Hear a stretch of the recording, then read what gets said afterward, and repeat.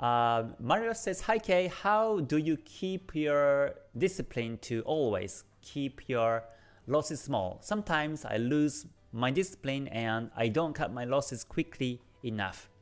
Okay, so that's about psychology, I think. That's about psychology and uh, following your own rules with discipline. Yeah, so we have, you have your own system, I have my own system, and uh, if the strategy says yes, then we have to do it, no matter what you think about the markets. And if the strategy says no, then you have to do nothing or you have to quit trading, you have to cut the loss, you have to exit no matter how much how what you think about the markets. So strategies are important in order for us to keep discipline, but uh, as soon as you become subjective to the markets and violates the rules, then that's I think when you start to be, start to uh, make losses big. So yeah, so that's one of the things I think about about the losses to keep it small.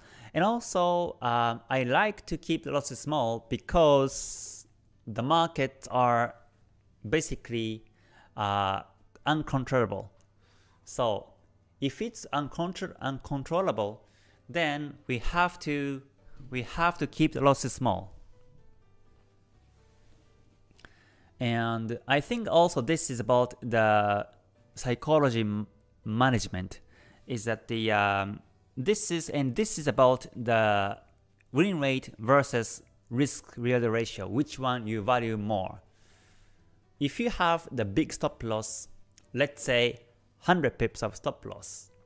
Then you have a buffer of 100 pips uh, to keep winning losses, but the market so the market may may retrace 70 pips, 80 pips, but then after that it may start to go up towards your direction, and tomorrow or sometime this week or next week you may start to run profits um, so if you hear this story, then you may think that so wide stop loss sounds good because you have enough buffer and the market may not hit the stop loss.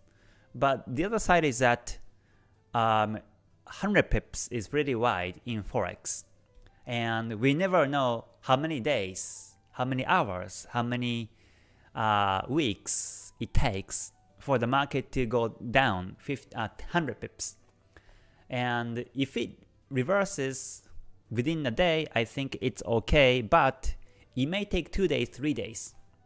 So as it goes down gradually, 10 pips, 20 pips, 30 pips down, um, your psychology may be a bit stressful because um, you're in a loss. You see the red number in your profile, and uh, it might affect your psychology. You might get emotional, or um, you don't feel good about running losses. At least for me, it was my case.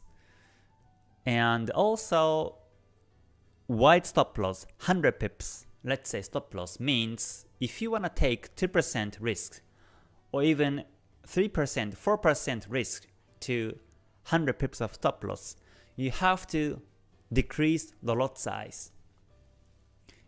So if you have 20 pips of stop loss and uh, at 100 pips of stop loss, the lot size is 5 times different.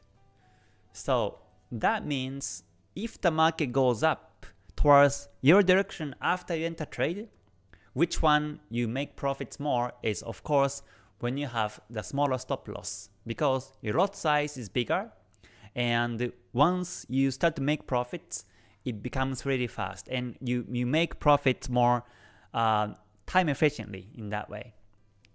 And this is the second reason why I don't put the big stop loss to trade.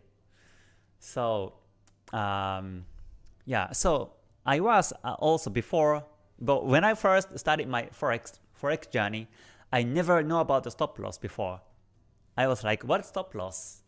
And I I saw I read some books and I was watching the website and I know okay stop loss is where the market will be stopped out, where my position will be stopped out, and I will be out with the loss on that on that level.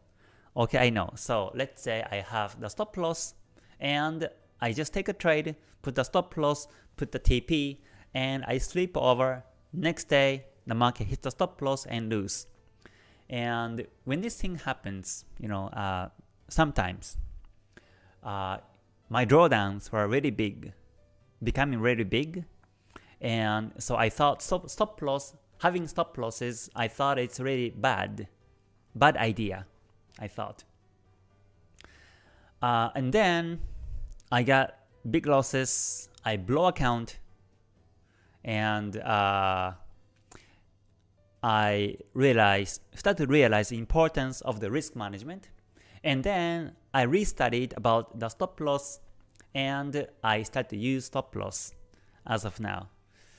So, and the way I use stop loss is a bit, I think, different from what people usually say, because again, I, I usually have the small stop loss. In this trade again, I took the 34 pips of stop loss, which is okay.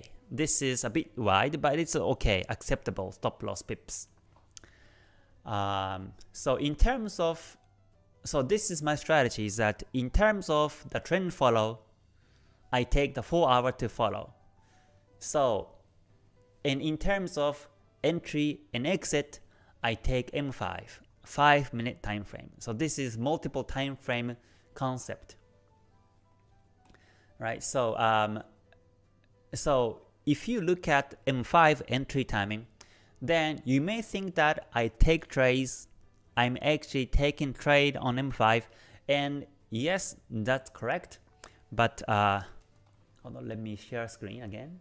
So yeah, I, I follow the 4 hour time frame, which is higher time frame, and I take entries on M5. And the reason is because I follow the 4 hour, so basically I'm trading the 4 hour time frame. I am not following 1 hour and I am not following M5 direction, but I'm following the 4 hour direction in my mind. And that's why I say as long as 4 hours bullish, I keep following and when 4 hour goes flat, that's when I exit my trade. That's why I say that. But in terms of the entries and exits, I use M5 to capture exact spot for entries and also exit with the loss or with the profit. So I kind of mix the day day trading or swing trading strategy to trend follow and scalping strategy for my entries and exits. And because I found that this is the best for me to to manage the risk and the ratio and also to be disciplined on myself. And that's how I created my strategy.